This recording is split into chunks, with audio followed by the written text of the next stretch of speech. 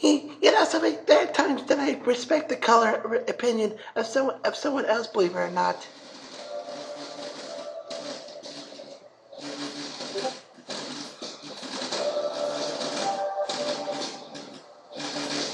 Well, I mean, especially if it's a nice color like